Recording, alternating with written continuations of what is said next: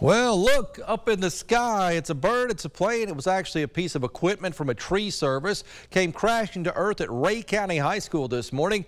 Crews were working nearby when a piece of their equipment snapped off and flew through the air. Thankfully, nobody was hurt, but a 2014 Ford Escape was not so lucky. There's a look at that car. Its rear hatch sustained heavy damage, and at first, investigators thought this was a piece from an airplane, but it turned out to be a piece from a tree service instead.